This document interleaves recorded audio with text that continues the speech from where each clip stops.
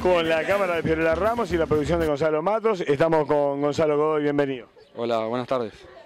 ¿Te tocó por fin ingresar en el primer equipo? Sí, la verdad que sí, con muchas ansias, hacía muchos partidos que no jugaba, por una expulsión del principio del campeonato que me dejó afuera y después la- las circunstancias no se dieron y por suerte este, se lo- logré entrar y, y dejé todo en la cancha y por suerte este, logramos el empate que, que fue lo que, lo que veníamos a buscar que era el triunfo, que no que creo que fue un partido muy duro, que se nos, se nos, se nos van dos puntos que, que son tras- trascendentes.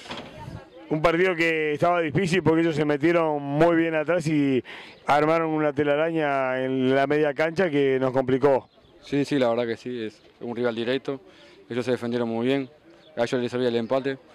Creo que como- sacando conclusión con, el, con el- cómo fue el partido, creo que, que sacamos un buen resultado, pero como te digo, nosotros no, no podemos dejar más puntos, creo que, que te- teníamos chance de pelear arriba, todavía la tenemos y tenemos un plantel, creo que, que para pelear ahí arriba, que, que vamos a seguir peleando para eso y para, para entrar a una copa.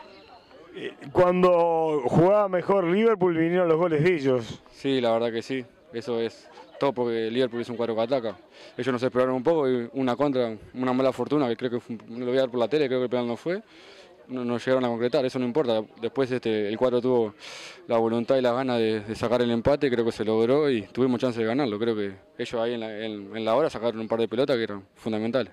Y lo bueno que cuando el Liverpool no jugaba bien, se las ingenió para hacer los goles, que eso también es importante. Sí, la verdad que sí, tenemos gente goleadora y creo que el Facu este, fue una, hizo los dos penales que veníamos, si bien veníamos cerrando, creo que agarró la confianza y por suerte los hizo.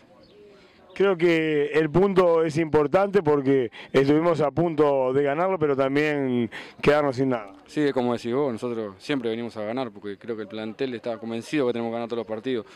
Porque tenemos un plantel, como te digo, bárbaro. Vos comparás con otro plantel y tenemos flor de plantel con jugadores del club, jugadores que vinieron.